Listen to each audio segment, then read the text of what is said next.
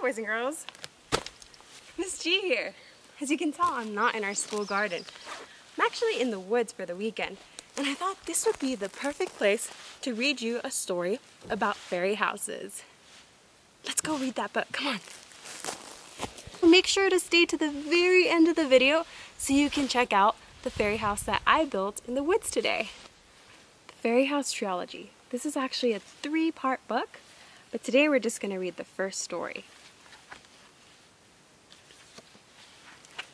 Fairy Houses, written and illustrated by Tracy Kane.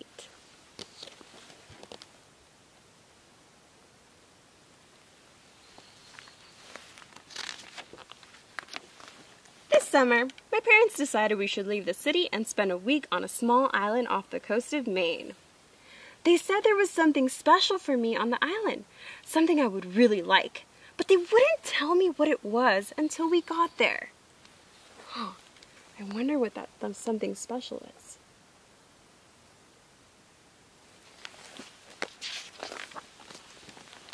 As soon as we got off the boat, I tried to guess. Is it the lighthouse? Hmm, those silly sandpipers on the beach? The seals? Our cottage? Later, when we went for a walk in the woods by our cottage, I discovered the secret my parents had been keeping.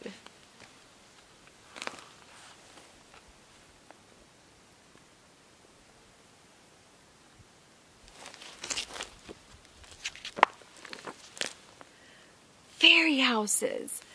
People had built small houses for fairies to live in. Wow, look at those fairy houses. Oh, it looks like there's something on this tree right here. Let's read it. You may build houses small and hidden for the fairies, but please do not use living or artificial materials. Huh, artificial. That's a big word. That means something that doesn't come from nature. For example, plastic. I asked if I could build a fairy house. My dad said yes, as long as I followed the rules of the woods. I scouted out places that would be just right for a fairy house. I chose a hollow at the base of an oak tree and collected some twigs, some leaves, and pieces of bark to build with. I finished the inside with a floor of dry grass and made a roof with fallen leaves. I hoped the fairies would choose my house for a place to live in. The next morning, I couldn't wait to visit the woods again to see if anyone might be sleeping inside my house. When I bent down to look, I heard chirping. Was a fairy snoring? What do you think is in her fairy house? Let's see. Hey, you're not a fairy, I said. You're a cricket. The cricket hopped off into a bush full of bright red berries. Maybe the fairies would like something to eat, I thought. I gathered a handful of berries from the ground and sprinkled them around my house. The following day, after visiting the lighthouse with my parents, I decided to check on my fairy house. Like it was a cricket.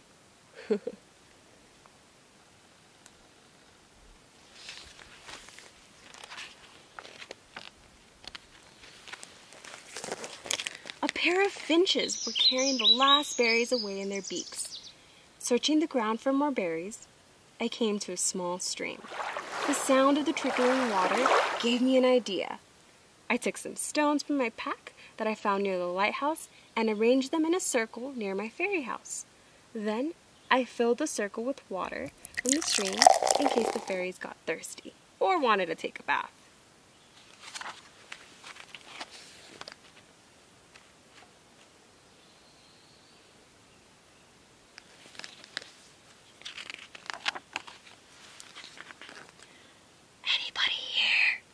I whispered the next day. At first, the house looked empty. Then I spied someone in the pool.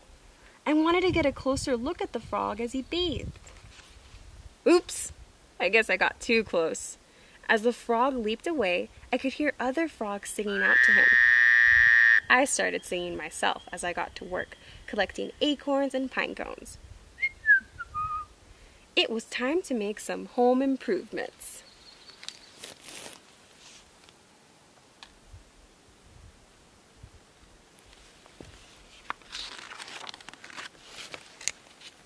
When I came back the next afternoon, I saw a squirrel nibbling on the nuts, but no fairies in sight. I just couldn't give up. I still hoped the fairies would visit my house. Maybe it needed a better entrance. In my pack were seashells and feathers my mom and I had found at the beach. I decorated the path leading up to the door. I thought about adding my shiny bracelet to one of the shells, hoping to catch a fairy's attention. But then I remembered the rules of the woods. The next morning, I got up very early when my parents were still asleep and tiptoed out of our cottage and into the woods. This was the day we would be leaving the island, so I had one last chance to visit my fairy house.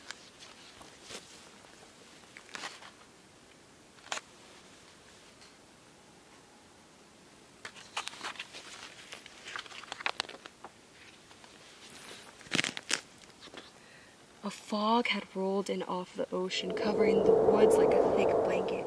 I could barely see. It was like walking in a cloud. The trees seemed huge, and their branches looked like arms reaching out to grab me. Goosebumps started popping out on my arms and legs. Someone was watching me. I was sure. Should I turn around and run? Oh, but my fairy house was so close. It was then I heard footsteps moving towards my fairy house heart started thumping. I jumped behind a tree to hide. Oh, I wonder what's on our fairy house this time.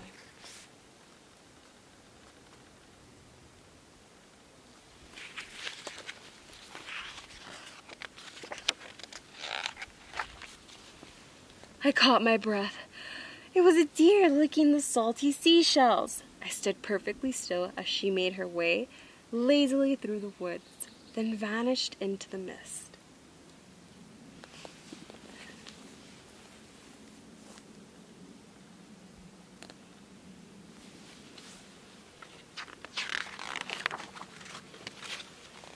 Exhausted, I sat down near my fairy house, watching, waiting, and wishing for fairies to appear.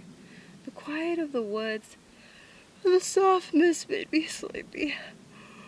My eyelids felt heavy, but I tried not to fall asleep.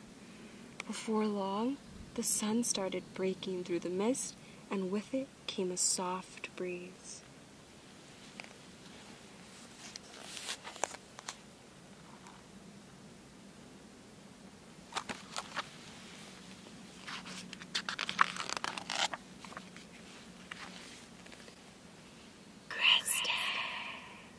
Breeze seemed to whisper in my ear. Kristen, wake up, wake up, wake up.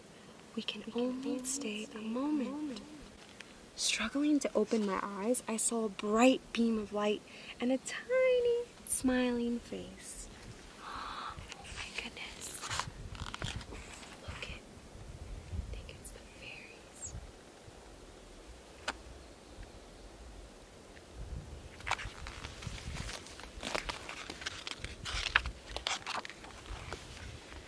We are the fairies who live in the spirits of all the plants and animals in the woods, a voice said.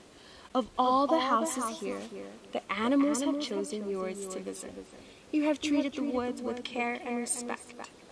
Look quickly, Kristen, for this is a moment of magic, when the fairies will show themselves as a way of thanking you.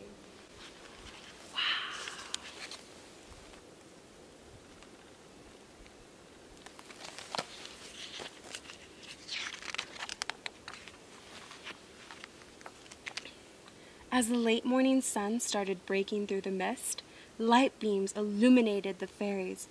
They sparkled like jewels. They became so bright, I had to close my eyes.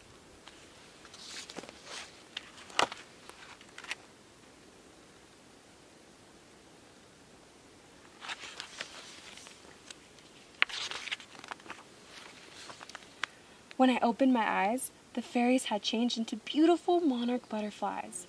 Butterflies fluttered around me like a great orange cloud, following me to the edge of the woods where the sun shone brightly. Wow. Check that out. Look at all those monarch butterflies.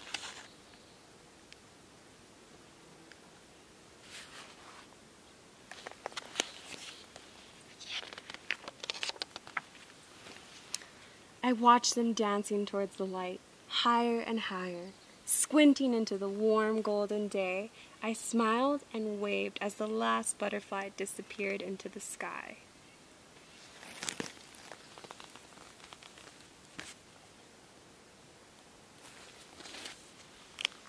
Oh, looks like there's something in this corner. Shh, over here. Turn this page to see some tips for building your own fairy house. Should we look at some tips? I think, yeah. How to get started with your fairy house. Fairy houses can be created in many different places. Look for building spots near parks, fields, woods, beaches, and your own yard. Try to find a place away from roads or busy pathways. The base of a tree or the side of a rock would be just right. Sometimes you can find a place in low branches of a tree or bush. Close to the ground is best. You should only use natural materials to build the house. Dry grasses, pebbles, sticks, shells, feathers, seaweed, pine cones, and nuts are just some of the materials you can use.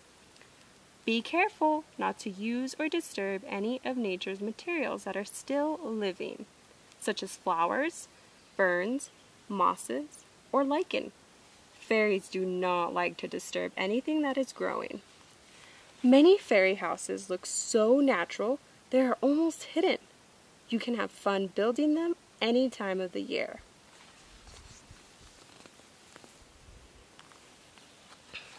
Let's see some example fairy houses. Spring. Spring is a great time to build a fairy house in the woods. There are plenty of fallen branches and bark to get started with. Pine needles and leaves make good roofs and soft floors. Pine cones become trees and acorns a snack. A ladder made from twigs would be would tempt any fairy to climb up and peek inside. I'm in the woods today and I kind of built a fairy house like this. I'll show it to you in a little bit. Summer. Summer is perfect for making a fairy house at the beach. You can dig out a foundation in the wet sand and form it into walls.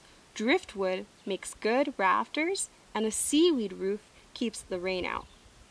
Decorate it with shells and pebbles, and it will sparkle in the sun. Adding a gold feather or two, blowing like flags in the breeze, will catch a fairy's eyes from far away. Look at that awesome fairy summer house. and we, a lot of us live close to the beach, so maybe we can build this one. And it's summertime. Autumn. Autumn is the season to build a meadow fairy house. If you tie a clump of tall grasses together with a long blade of grass, it can look like a teepee. Dry Queen's Anne's lace always makes a grand impression. Thistles become a sturdy guards.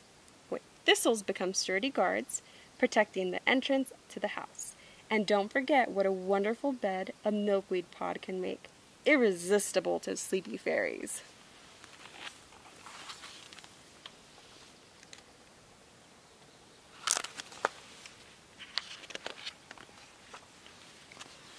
Hopefully, you've been collecting some treasures from the woods, beach, and meadow to add to the fairy house you are building in your yard. This could be your best fairy house since you can check on it every day, changing things to make home improvements. And you can keep a watch over it all year long, even in winter. Wow, I think I want to make one at my house too.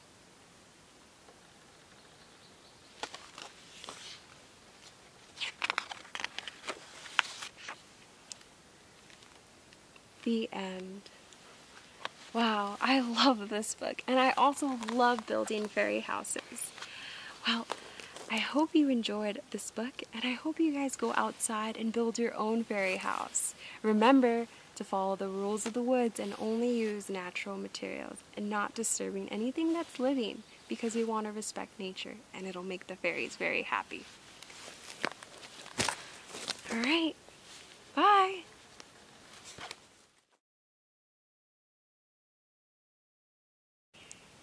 Can you spot my fairy house?